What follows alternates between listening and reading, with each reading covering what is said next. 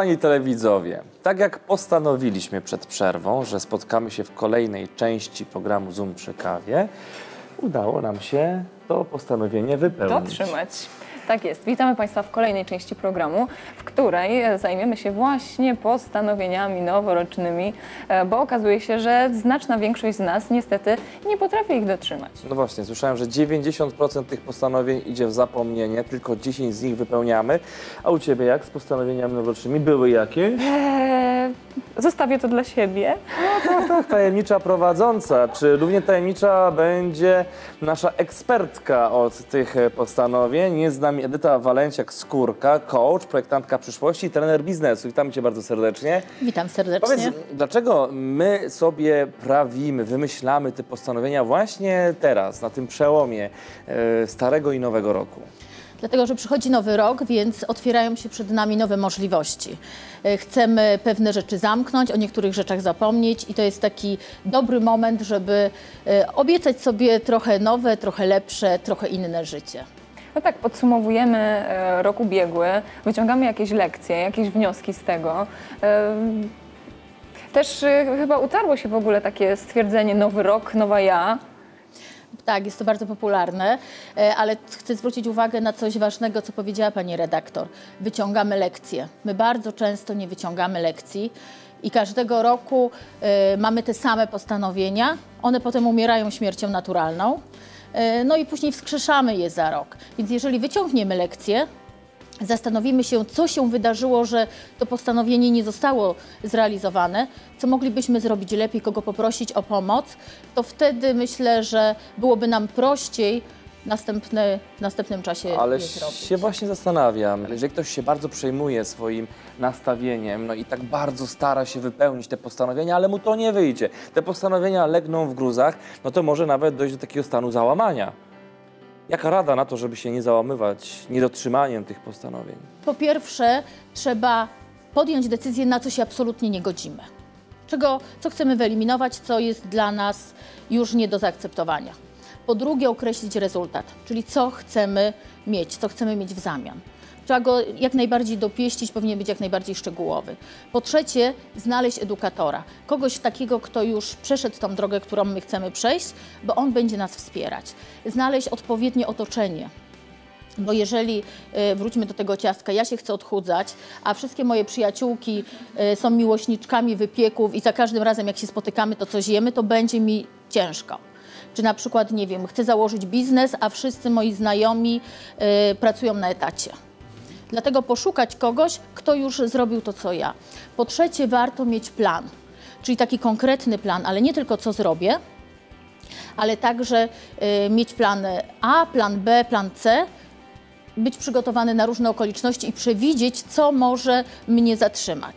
Warto też oczywiście podjąć działanie, bo bez działania nic nie zrobimy, ale cieszyć się z sukcesów, nawet z tych maleńkich, z tych pierwszych. Czyli nie mówić, że y, będę ćwiczył przez cały rok i sobie kupię karnet na cały rok, ale będę ćwiczył przez pierwszy tydzień. I po tym tygodniu dać sobie takiego głaska, pochwalić się, zrobić coś, bo nasz mózg, pan się uśmiecha, ale nasz mózg jest jak pies. Jeżeli dostaje komendę łapę, to od razu chce dostać landrynkę, chce dostać nagrodę. I to jest bardzo ważne. dobry, ćwiczył, ćwiczył. Tak. Ale popatrz, to jest tak jak było przy maturzystach. Plan i systematyczność. to Tak, jest najważniejsze. Ale e, słusznie zwróciłaś uwagę, że często e, potrzeba nam tej drugiej osoby, która będzie nas motywować do działania. No jeżeli ktoś e, chce, to może się oczy- oczywiście do ciebie zwrócić, prawda? Oczywiście, Ale zapraszam. e, zazwyczaj szukamy e, tego pier- tej pierwszej pomocy wśród najbliższych, w rodzinie. Czy podasz jakiś taki może jeden sposób, jak można motywować osobę, która ma postanowienia i chciałaby te postanowienia realizować? Po pierwsze trzeba uwierzyć w nią, że może to zrobić. Bo bardzo często my w trosce o swoich najbliższych e, boimy się, że, ta, że być może poniesie e, porażkę i wtedy chcemy ją ochraniać. A my nie powinniśmy ją chronić, tylko powinniśmy ją motywować, wspierać i pozwolić popełniać błędy. Bo tak naprawdę na błędach się uczymy. Jeżeli ja dzisiaj popełnię błąd, to jutro będę mądrzejsza, co zrobić, żeby tego błędu uniknąć i będę mogła iść krok dalej.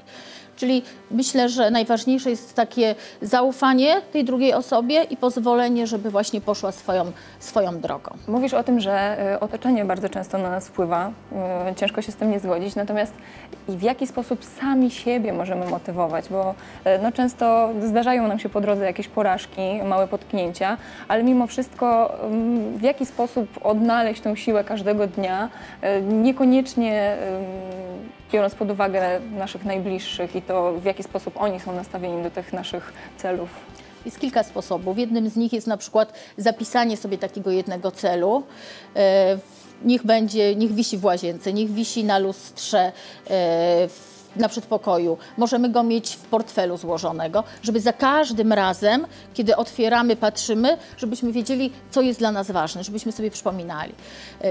Otworzyć kalendarz i oprócz tych rzeczy podstawowych, które wykonujemy e, czy zawodowo, czy, czy jakieś zajęcia po pracy, zapisać co powinniśmy zrobić, żeby ten cel y, zaczął po prostu żyć swoim życiem. Czyli na, czasami jest to na przykład telefon do kogoś, kto może mi pomóc. Czasami jest to wyszukanie w internecie pewnych wiadomości. Czasami jest to zapisanie się do jakiegoś klubu, gdzie będę mógł uzyskać takie informacje. Ale drogie Czyli panie, działanie. my cały czas rozmawiamy, rozumiem, ze względu na porę, w której się znajdujemy, o postanowieniach noworocznych. Ale co z pozostałymi 344 dniami?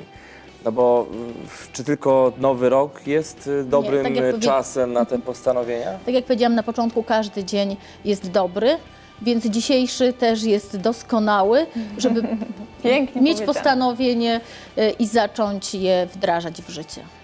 Kochani, tak jak powiedziała Edyta Walenciak-Skórka, nie warto się poddawać. Yy, Wytrwajmy w swoich postanowieniach, a nawet jak nam się noga podwinie, to to, co nas nie zabije, niech nas wzmocni. I tego Wam życzymy. Bardzo dziękujemy za tę rozmowę i za te podpowiedzi, jak tworzyć, jak wytrzymać we swoich postanowieniach. Dziękuję serdecznie.